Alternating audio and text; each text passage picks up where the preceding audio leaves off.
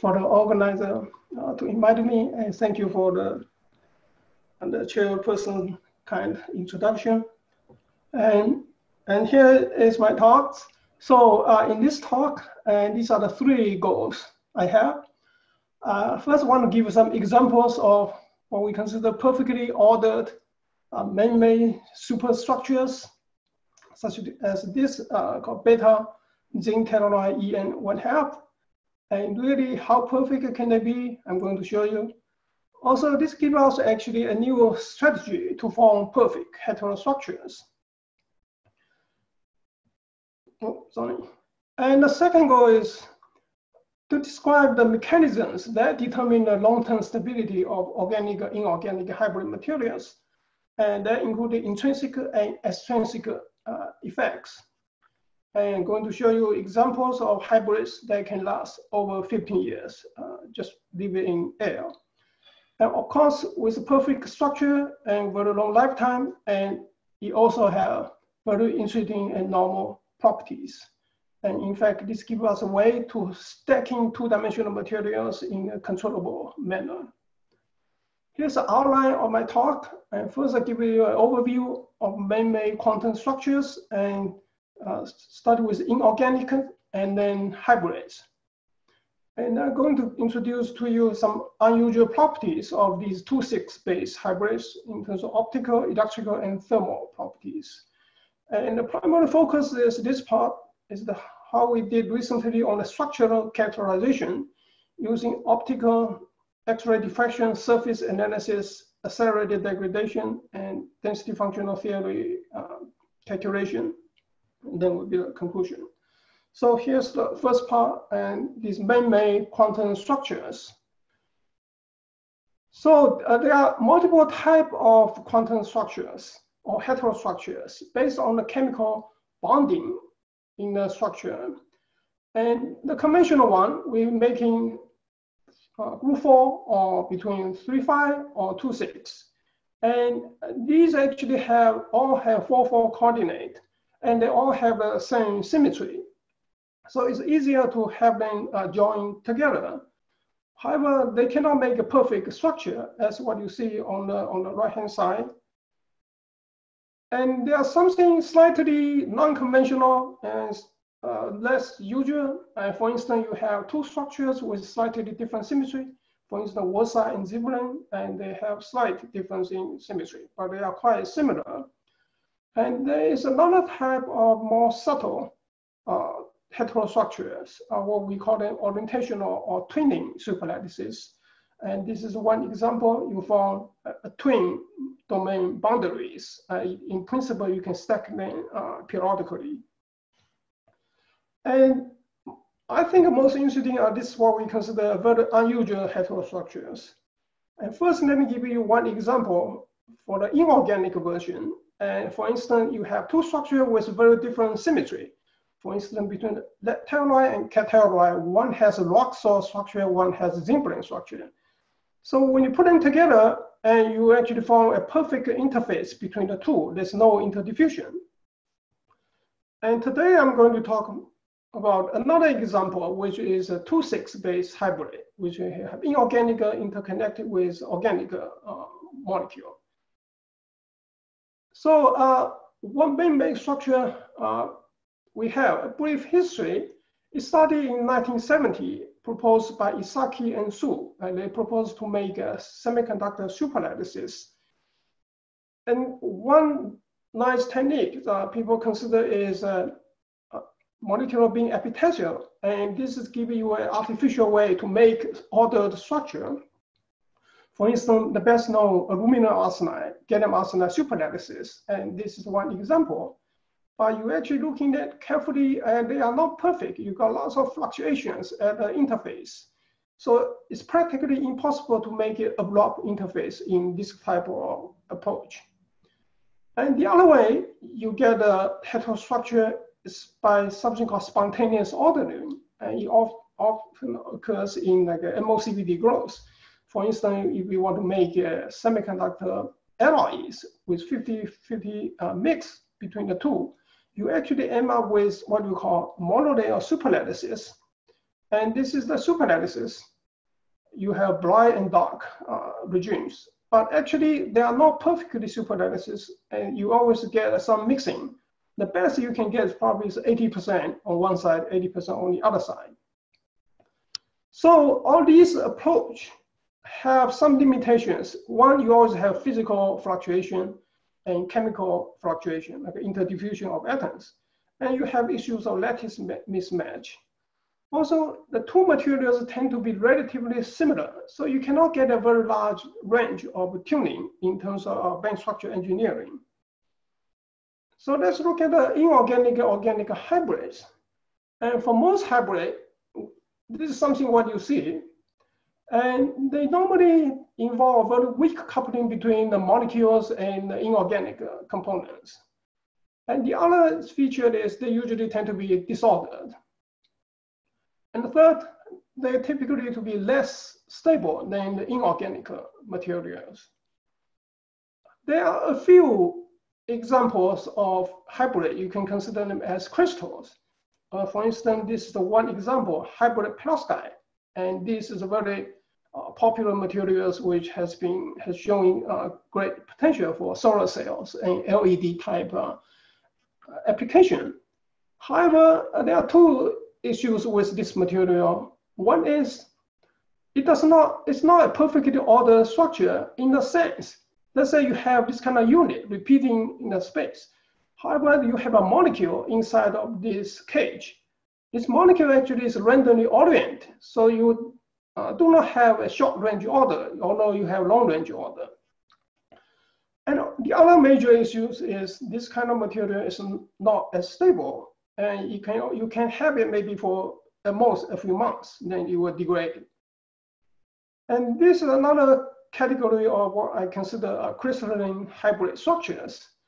And it was first made by my collaborator, 2000, uh, Professor uh, Jun Li at Rutgers University. So they are having like zinc blende or wurtzite semi inorganic semiconductor of 2,6 uh, mixed with organic molecules. And these tend to be highly ordered and they have excellent long-term stability. So here's a little bit of details of the structure. And specifically for this zinc telluride with this uh, molecule called ethylene diamine. And it started with uh, two monolayers of zinc telluride with thickness around three angstrom.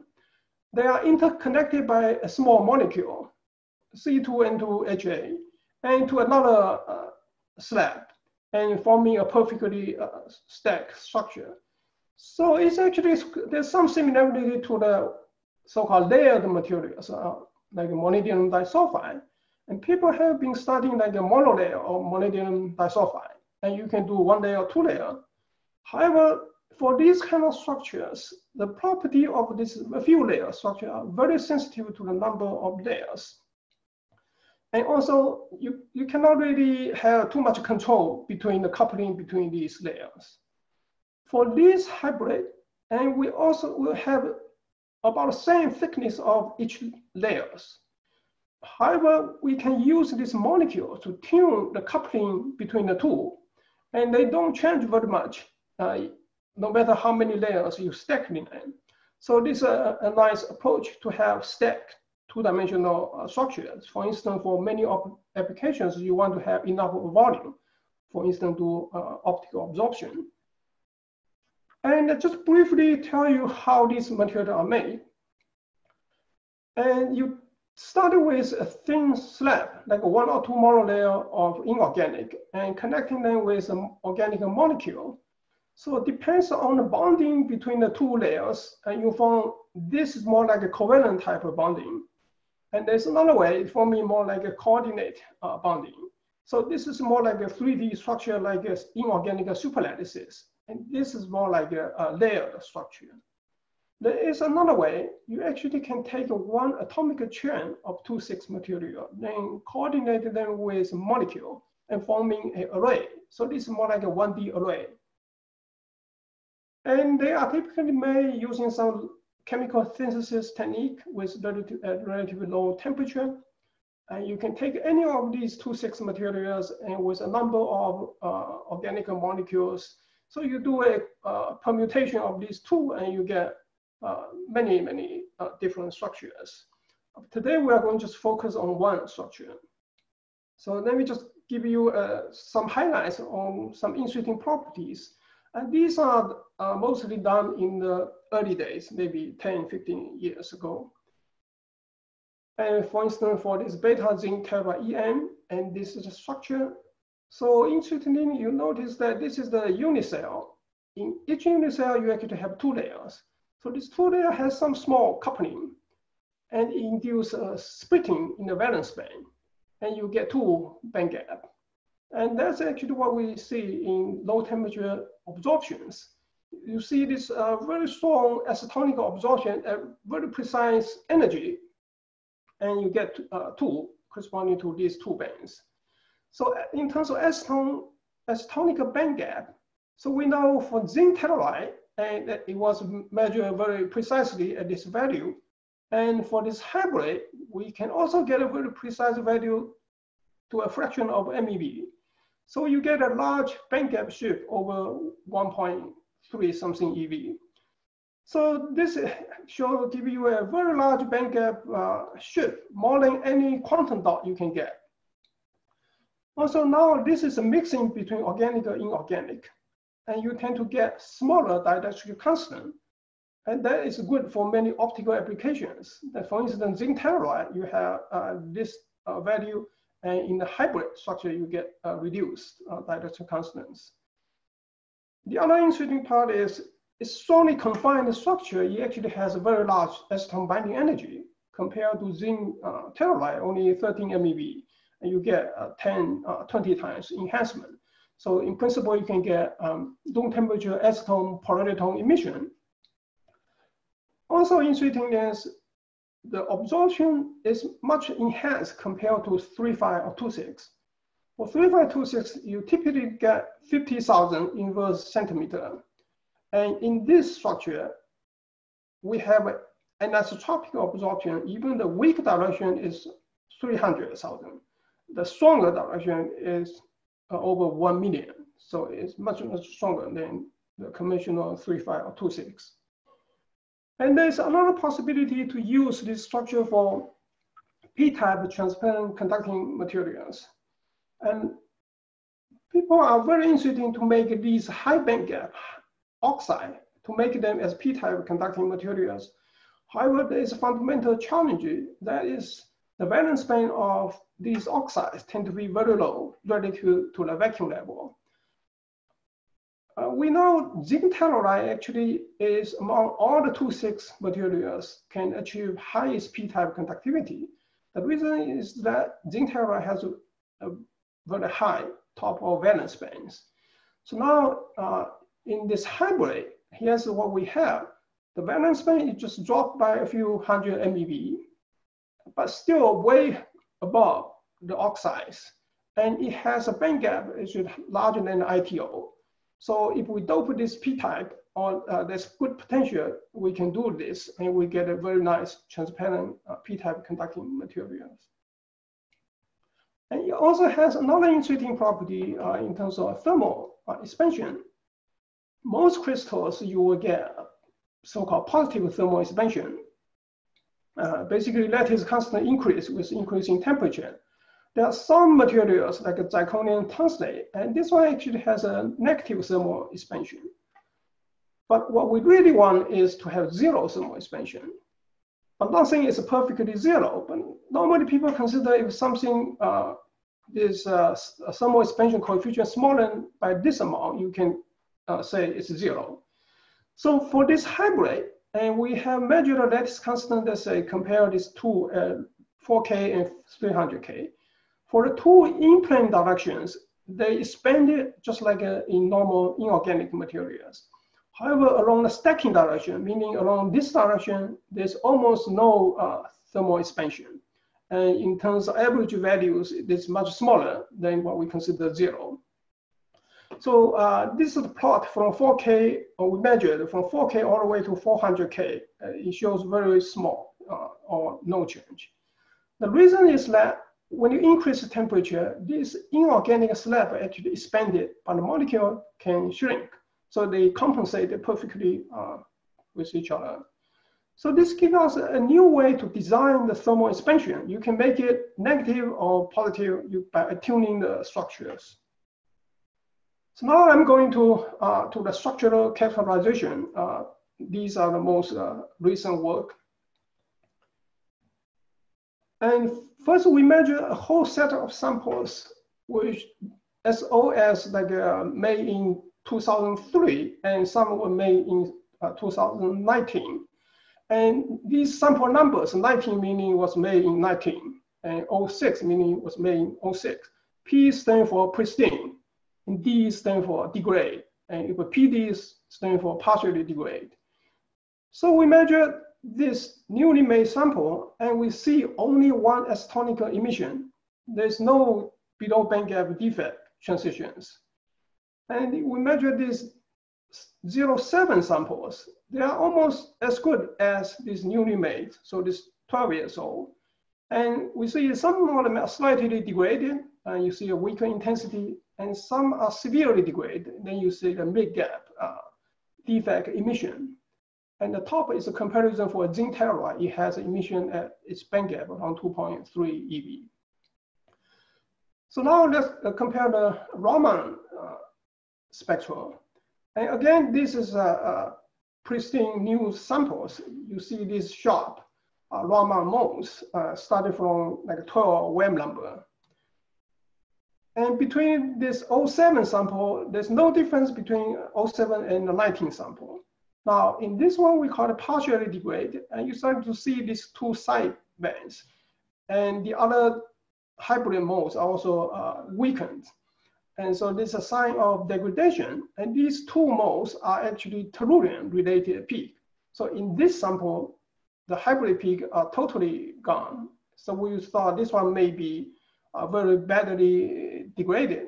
And the top are the Raman for zinc telluride, just for comparison. It has one LO, two LO. And now uh, this now uh, these for the small wave number regime. Now we go to higher wave number regime. And so in this part, these modes are mostly related to organic molecule. And again, these two samples shows almost identical uh, transitions, very sharp transitions. And it's partially degraded. You see uh, weakened, weakened peaks. And uh, fully uh, looks like very badly degraded. You don't see any uh, molecular Raman modes. And for comparison, this is a uh, ethylene solution. You see uh, almost similar Raman modes as in the crystal. However, these tend to be much uh, broadened. The reason is that in, in a solution, those molecules are randomly oriented, but now in crystal, these molecules are all locked into a well-defined uh, position. So uh, you don't see the, the broadening. And now, this is more interesting. We actually studied a 2003 samples. We did a Raman imaging on the surface. What we found is some area actually give a very beautiful Raman spectrum, just as good as this 2019 samples. But in some area, they are slightly uh, degraded. So what this tells us, age is not the only factors there are more other effects that actually uh, uh, determine the sample degrade or not degrade. Okay, so what is in the degraded sample what we have measured optically?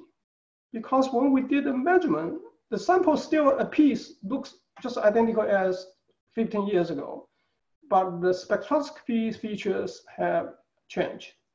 So we did X-ray measurement on those old samples and the new samples. This is all 3D samples, meaning optically degrade. And it looks very similar. This is the XRD peak along the stacking direction. And these two are almost identical even in terms of relative intensity. However, this one is, is supposed to be severely degraded. It only has slightly weaker peak for the first one, 0, 2, 0.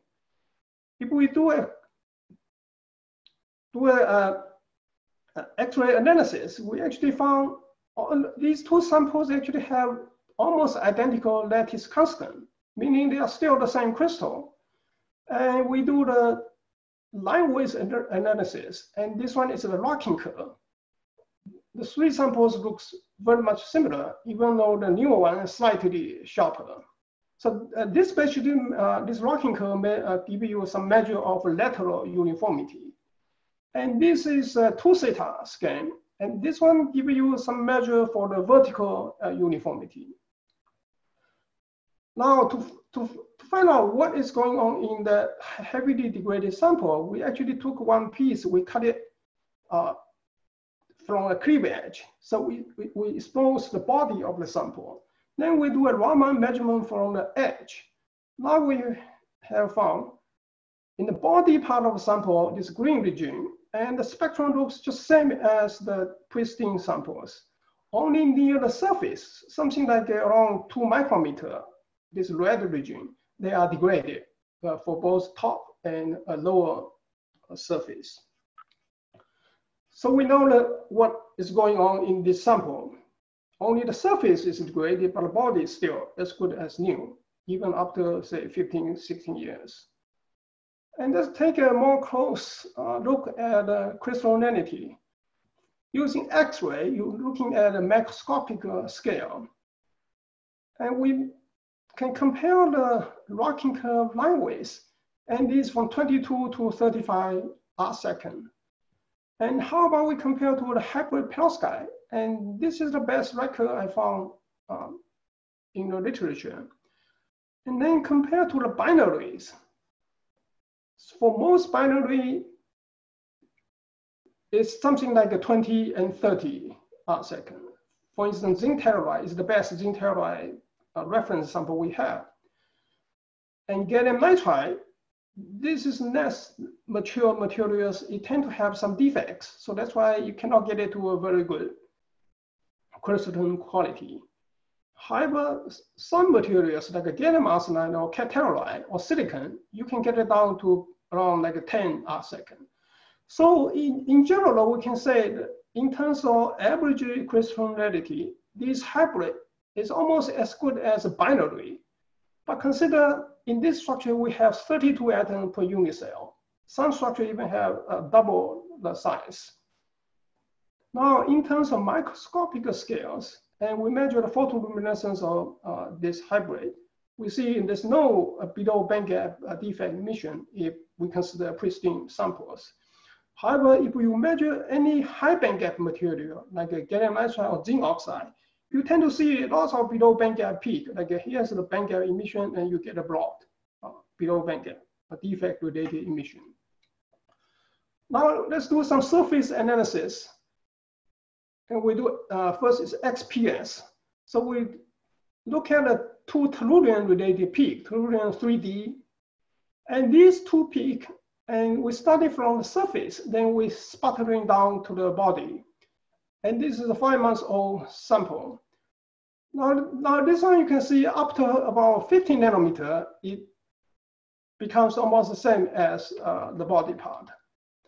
Now for the 13 years old, and it takes much longer, much deeper, go down to like 1700 nanometer when you see the uh, intrinsic uh, 3D uh, peaks.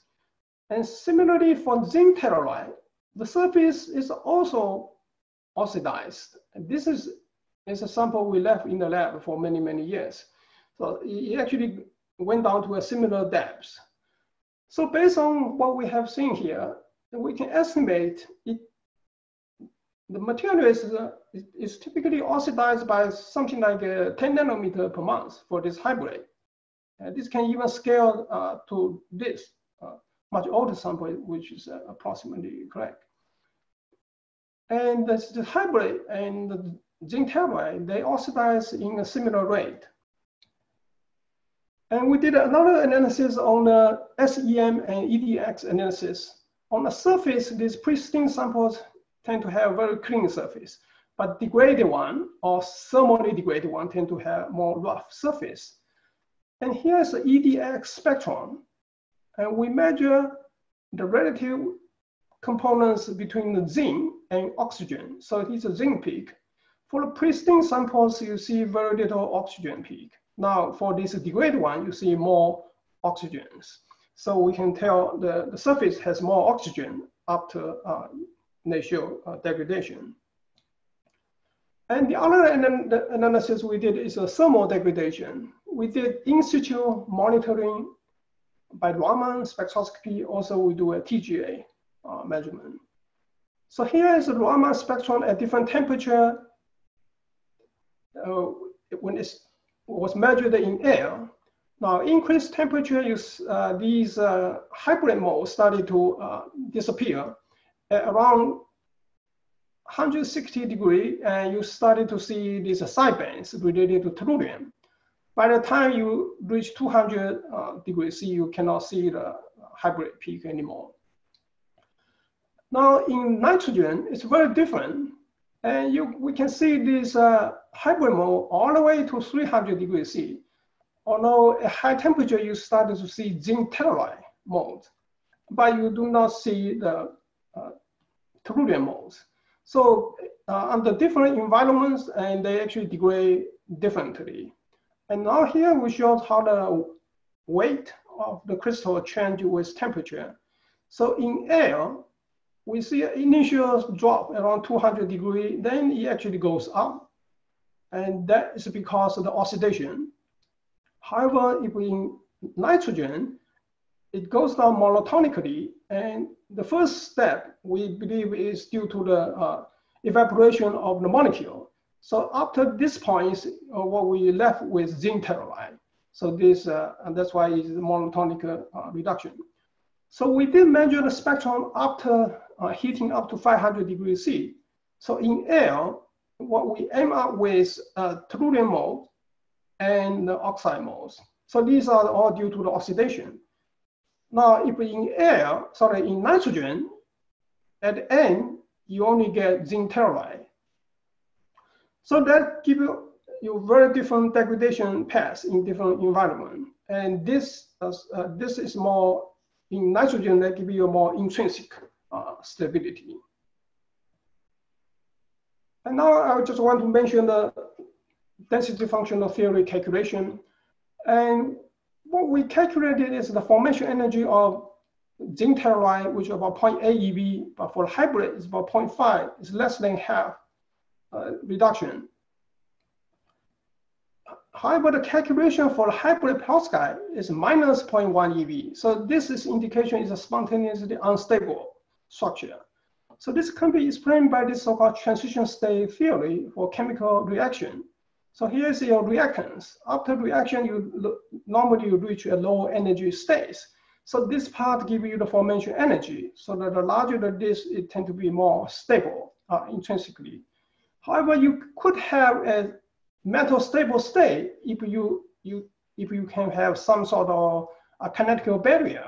That's probably the case for this hybrid perovskite. So in terms of degradation mechanisms, that one part is intrinsic, that is related to the formation energy plus the kinetic barrier. The extrinsic is related to the surface and the bulk defects. So to have long-term stability, we need to have a necessary condition that is to have adequate formation energy. Then you also need to have stable surface. Either your oxidation is self-limiting or you put in some uh, passivation. So then we can consider what does this variation in the life expectancy uh, means. For inorganic device, we tend to expect them to have life experience of like 10, 20 years. Now, is it practical to expect a device made out of less stable hybrid to last, to last over 10 years? So this I make interesting uh, comparison between uh, human life expectancy and the dog. So dog, you can have it last to 10, 15 years, but human, you can last for seven, 18 years, even to 100. So really, it's not practical to expect a dog can live over 80, 100 years. So for more practical consideration, we should just seek application based on the anticipated long-term stability. And here's a summary of my talk. Based on this study on the 2,6 hybrid, and we have shown a fully ordered hybrid structure, they can be considered the most perfect man-made superlattices with minimal macroscopic and microscopic uh, defects. So this gives us a new strategy to make perfect heterostructures. And also this can be considered as the first non-crystalline hybrid structures with such a long lifetime, uh, even without any perturbation. And that gives us the understanding what condition to have long-term stability. One is you need to have large formation energy plus a stable surface. And this study also provided a matrix to assessing long-term stability of hybrid materials. And these materials have shown to have a number of interesting properties for uh, future applications. And I would like to thank my supports, currently supported by uh, ARO Material Science. And I have a long list of collaborators and uh, currently uh, many people at UNCC, uh, mostly uh, in my group and Professor Tom Schmedake's group, and with all the other uh, supports. Thank you for your attention.